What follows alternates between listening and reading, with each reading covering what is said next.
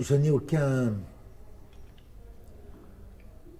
Je, n'ai pas de.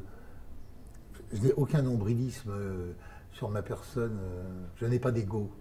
Je m'en fous complètement, en- réellement.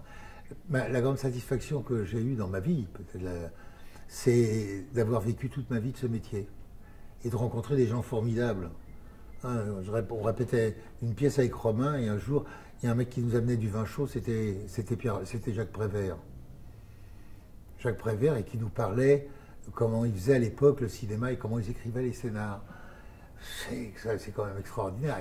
Et, Jacques avait un humour. bon, alors oui, ça, ça c'est des choses d'avoir rencontré des gens comme ça, puis d'autres, et puis m'être fait beaucoup d'amis. Ça, oui, ça a beaucoup de valeur pour moi, mais euh, être en première page de première, euh, ça, à quoi ça sert? À quoi ça sert?